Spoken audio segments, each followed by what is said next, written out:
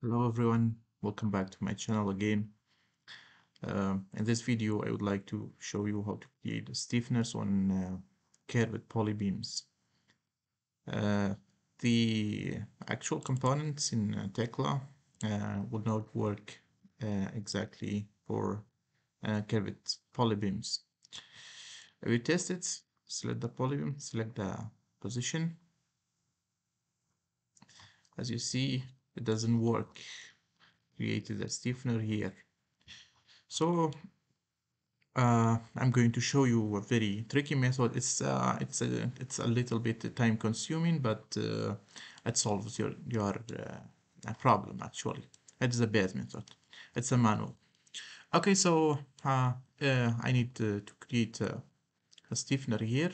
First of all you should you should create a work plane here so let me let me uh, find the correct work plane so here I need to create stiffeners exactly on this line. All are in the same line okay? So I used this construction lines to work to to find the my work plane so here uh, the best work plane is here. So okay use on plane or you you, you can use you you can go to view uh, new view on plane okay?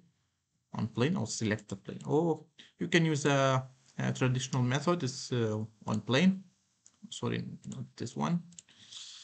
Uh, working plane sorry working plane find the working plane here but uh, I would prefer to use on plane okay? Uh, to find uh, the best the best uh, working plane okay?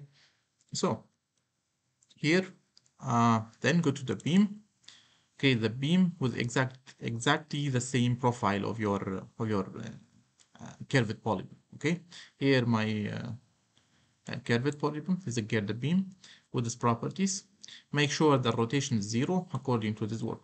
Okay so uh, use midpoint snapping from this midpoint to this midpoint. Okay the beam has been created. So the rotation is uh, not correct. You use alt and space to rotate okay. This is exactly exactly uh, uh, the beam on that on that uh, portion on that segment.